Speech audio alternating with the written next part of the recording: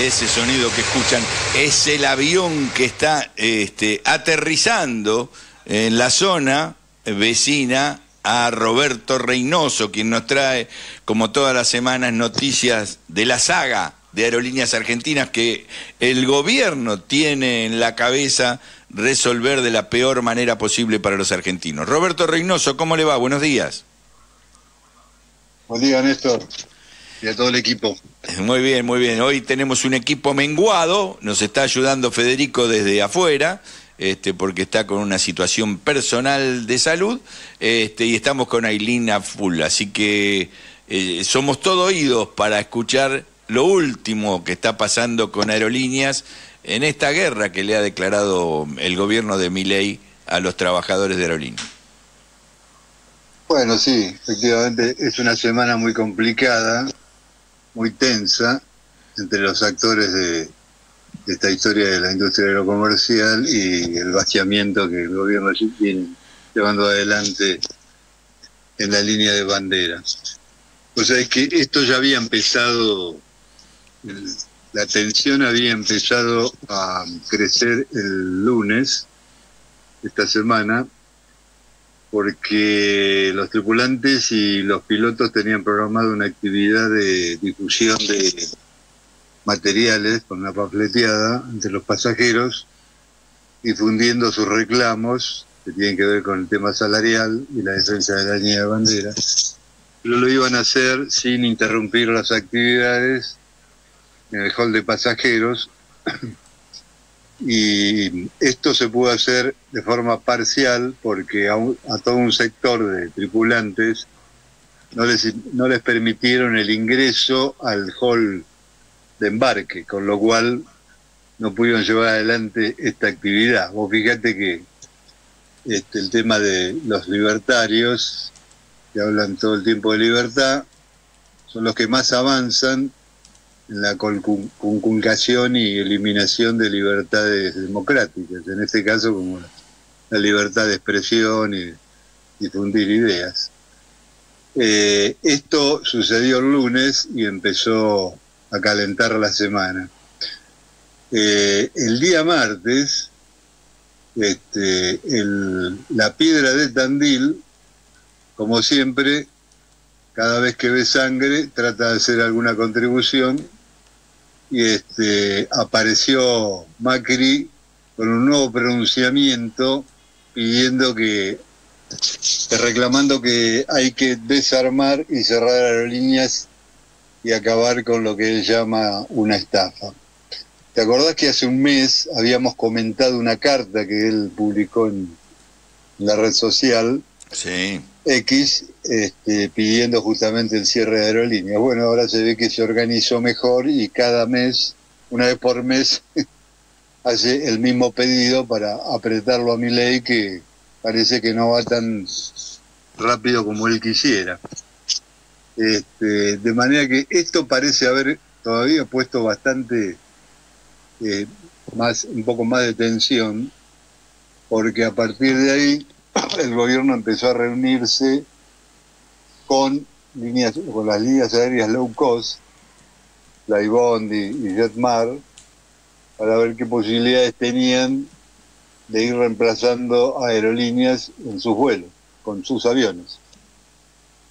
Con lo cual este, blanquean, ya abandonan todo tipo de formalidad y todo tipo de apariencia para este, hacerlo a, la, plena luz del día, programar cómo van las low cost a reemplazar a, la línea de bandera. El mismo día, me parece que no es casual, hubo un fallo judicial, estamos hablando del día martes, este martes último, eh, donde la justicia revocó la reincorporación de tres pilotos que habían sido despedidos de las líneas argentinas, también lo habíamos comentado acá. Sí. Tres pilotos que se negaron a trasladar un avión Embraer que estaba devolviendo la administración libertaria a Estados Unidos, porque entendían que era parte del vaciamiento al que estaban sometiendo aerolíneas argentinas. Bueno, esto contó con el apoyo sindical, había este, el sindicato con su equipo de abogados reclamó la reincorporación en la justicia y la justicia le había dado la razón. El reclamo sindical, los trabajadores habían sido reincorporados. Bueno, este martes la Cámara del Trabajo eh, revisó el fallo y lo revocó.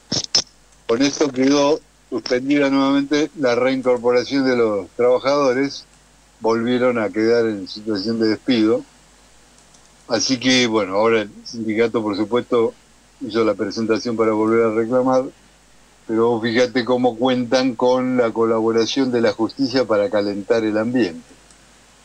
Este, insisto en esto de las acciones que van calentando el ambiente, porque después cuando la parte sindical y los trabajadores reaccionan ante estos aprietes, son eh, presentados como delincuentes, literalmente, ¿eh? ya lo vamos a ver. Ahora voy a comentar también unas declaraciones de otros funcionarios, donde directamente los ponen en el banquillo acusados como delincuentes a los trabajadores.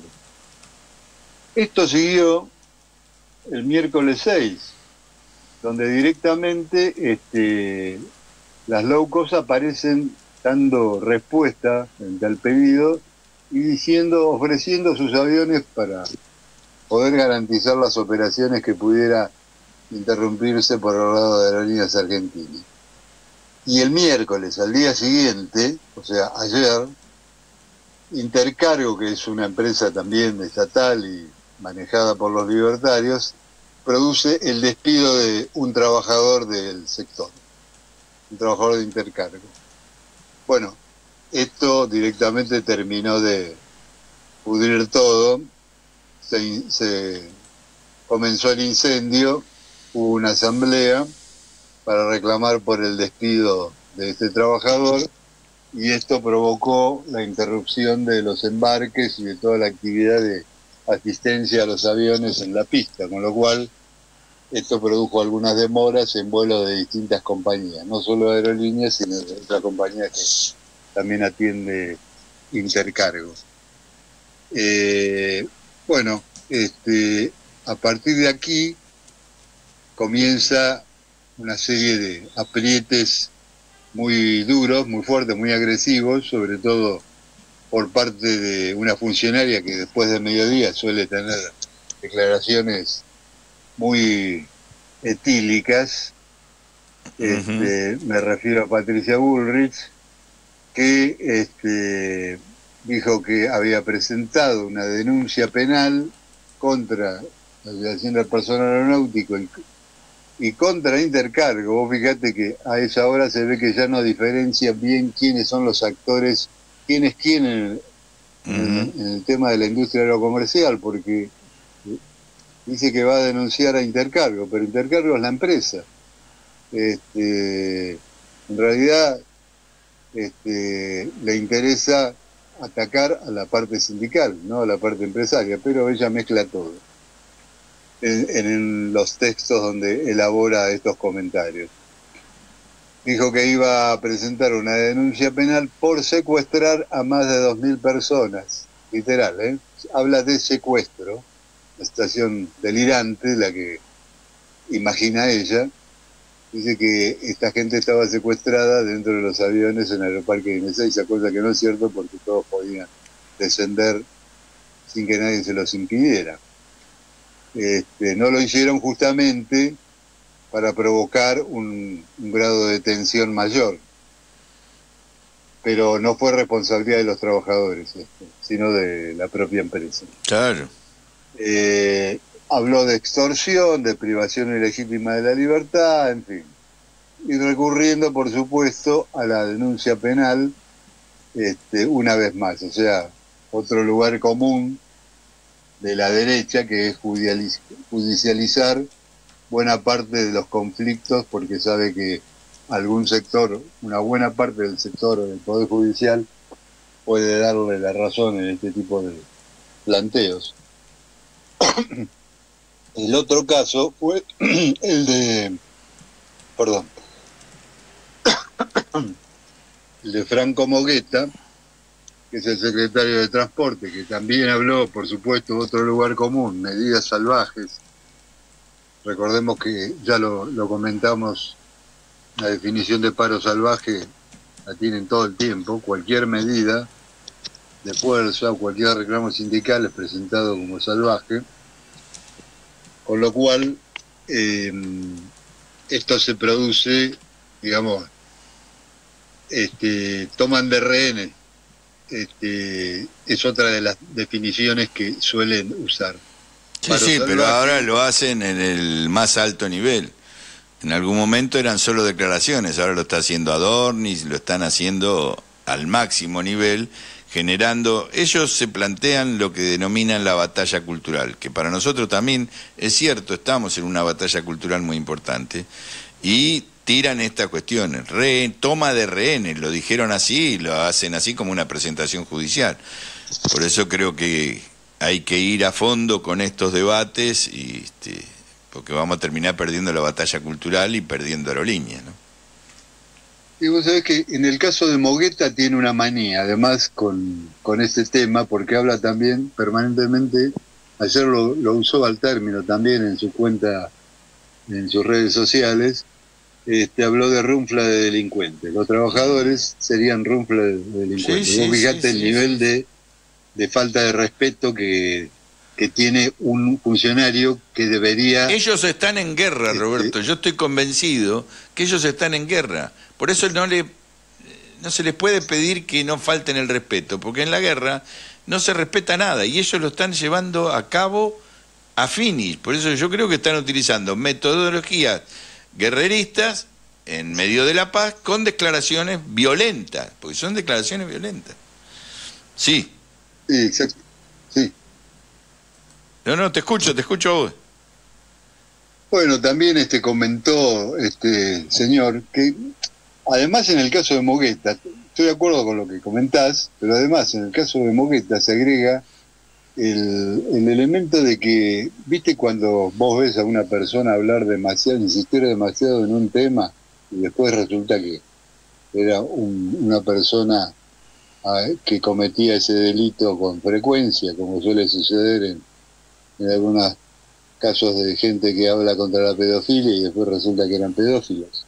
Sí, sí, sí. Este, bueno, en este caso también me parece que hablar de delincuentes me despierta sospecha porque su familia tiene una empresa muy favorecida por la obra pública en, Catamarca, con lo cual este me parece que ahí debe haber más de alguna posibilidad de, encontrar algún antecedente delictivo. Este, bueno, este, el tema este, escaló ayer este, muy, muy alto. Este, finalmente los pilotos informaron, porque había dos conflictos en curso, el que desencadenó el despido de intercargo y el, de los pilotos, que era producto del reclamo salarial. Los pilotos que habían este, estaban trabajando a reglamento, este, decidieron levantar la medida, aclarando que lo hacían hasta que, eh, con la voluntad de sentarse a negociar y esperaban que la empresa, exigían que la empresa este, respondiera al levantamiento de la medida de fuerza con una voluntad negociadora. Este, pero el tema escaló tanto, vos fíjate que salió en España, el titular del diario en el país, el diario El País, salió un título que dice que Milei amenaza con los a los sindicatos con ceder al sector privado la operación de aerolíneas. Es decir, ya circula en la prensa extranjera esta iniciativa que te comentaba al comienzo de que las low cost reemplacen los vuelos de aerolíneas. Este, esperemos que este, se puede imponer una solución en favor de los trabajadores, este, porque, por otro lado, los libertarios están preocupados porque hicieron, parece que en el poroteo, no le dan los números para juntar votos en la Cámara de Diputados para privatizar aerolíneas argentinas. Así que están un poco nerviosos por eso y este, están provocando y buscando motivos para cerrar directamente aerolíneas porque parece que están viendo que no la van a poder sacar mediante una ley. De manera que este, están un poco preocupados con eso y hay que tener cuidado también con el tema de, hay que mostrar una postura firme en la defensa de la empresa para impedir el cierre, el lockout patronal, digamos, en este caso. Bueno, tenemos que ir cerrando, Roberto. Muy bien. Este, la semana que viene vemos cómo, qué cómo sigue este escándalo del gobierno que ya trasciende la frontera, ¿no? Y este mes es clave, para cerrar, este mes de noviembre es clave porque cierran las sesiones del Parlamento a fin de mes, así que si no les da este, el tema para sacarlo por el Parlamento, van a intentar, parece, con la presión de Macri mediante, van a intentar este otro desenlace, más violento. Nos tomamos el avión todavía de Aerolíneas Argentinas en manos de los trabajadores este, y nos vamos hasta la semana que viene. Chao, Roberto. Cerramos puerta. Chao, Néstor.